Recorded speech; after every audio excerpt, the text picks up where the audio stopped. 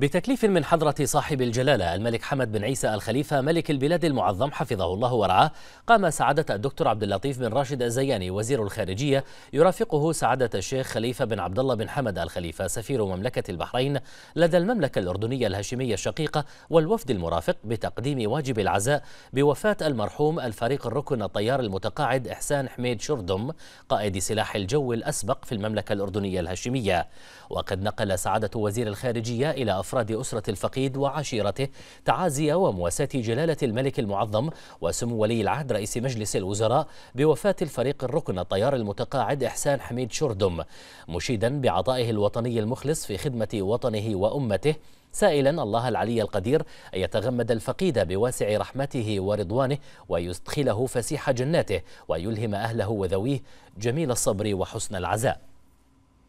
وقد أعرب أفراد أسرة المرحوم إحسان حميد شردم عن شكرهم وامتنانهم لتفضل جلالة الملك المعظم بتكليف سعادة وزير الخارجية بنقل تعازي ومواساة جلالة الملك وسمو ولي العهد رئيس مجلس الوزراء لأسرة الفقيد وعشيرته. داعين الله العلي القدير أن يحفظ جلالته وينعم عليه بموفور الصحة والعافية وطول العمر وينعم على مملكة البحرين وشعبها بدوام الأمن والتقدم والازدهار.